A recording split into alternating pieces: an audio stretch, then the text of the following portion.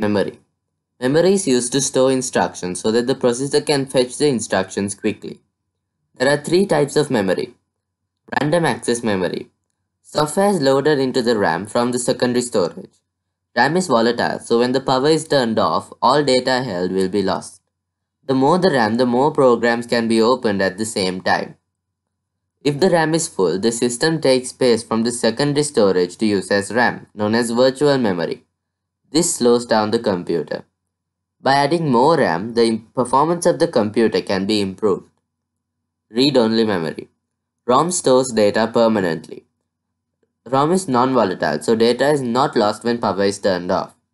Computers use ROM to boot the system, while otherwise ROM is used in single-purpose computers like calculators. PROM is programmable ROM, where data can only be written on once. EPROM is erasable programmable ROM and EEPROM, electrically erasable programmable ROM, can be changed the contents. Flash memory. Flash memory is a type of EEPROM. Processors. A processor is made of one or more CPUs. CPUs carry out software instructions. In processors made up of more than one CPU, each CPU is called a core.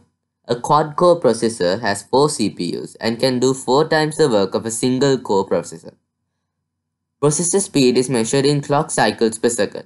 It is the number of times per second the processor can carry out one or more instructions.